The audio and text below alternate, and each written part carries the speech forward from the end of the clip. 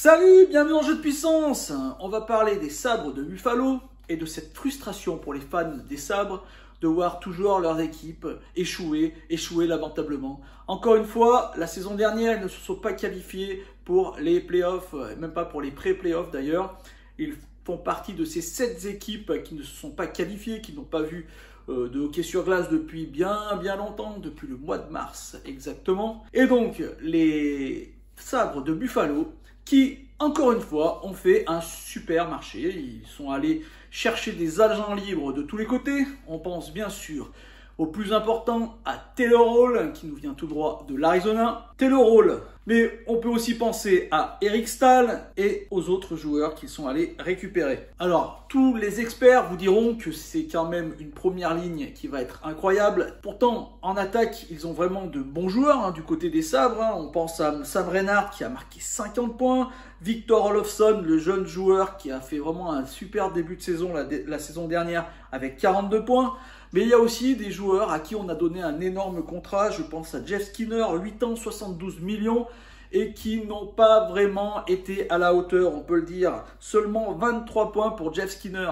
Il faut dire que la saison dernière, il ne jouait pas avec Jack Ekel et ce n'est pas la même chose de jouer euh, là où on doit avoir des responsabilités et de jouer avec un joueur comme Jack Ekel. Est-ce que Jeff Skinner va se relancer? Ça, c'est la vraie question du côté euh, des sabres de Buffalo. Et là, on devrait s'attendre vraiment à avoir une très très belle équipe. Parce que vraiment, avec une première ligne de, de ce niveau-là, on s'attend encore une fois à que les sabres de Buffalo nous impressionnent. On espère, du moins pour leurs fans. En défense, eh ben, on n'a pas changé grand-chose. Ristolainen est toujours là, même s'il voulait partir. On a toujours euh, Dalin, qui devait être vraiment un super défenseur. On attend, à mon avis, encore de voir un peu.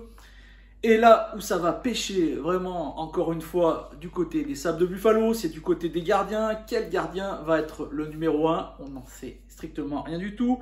Carter Hutton a fait une saison pas terrible, 90,4%, c'était vraiment pas au niveau. Linus Ulmark, ça a été un peu mieux, 91,5%, donc ça devrait être lui qui commencera gardien numéro 1 mais on n'en sait pas plus. Attention, car du côté des gardiens, on a deux jeunes espoirs, Jonas Johansson ou Ukko-Pekka Lukunen, un Finlandais donc, qui pourraient prendre leur place et euh, faire la surprise et donner euh, des satisfactions à l'entraîneur des Sables de Buffalo. Et s'ils arrivent à faire jouer un de ces deux jeunes et que ce jeune montre qu'il a vraiment le niveau NHL, ça pourrait être vraiment un plus pour cette équipe. En termes d'espoir qu'on va sûrement voir jouer cette saison, c'est Dylan Kozen. Dylan Kozen qui a vraiment des stats juste incroyables chez les juniors, avec par exemple la saison dernière 51 matchs pour 85 points. Donc là encore, un super attaquant. Je ne comprends pas cette année si Buffalo ne se qualifie pas. C'est vraiment que, euh, que cette équipe est maudite.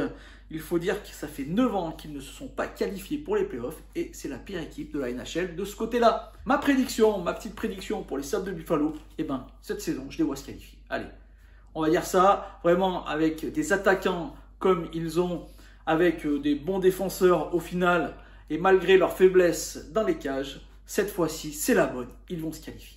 J'espère que cette vidéo vous a plu. Si les gars, n'hésitez pas à me faire un petit like, un petit commentaire ou à la partager. Moi, je vous dis à bientôt pour de nouvelles 12. On va parler des Flames de Calgary. Allez, ciao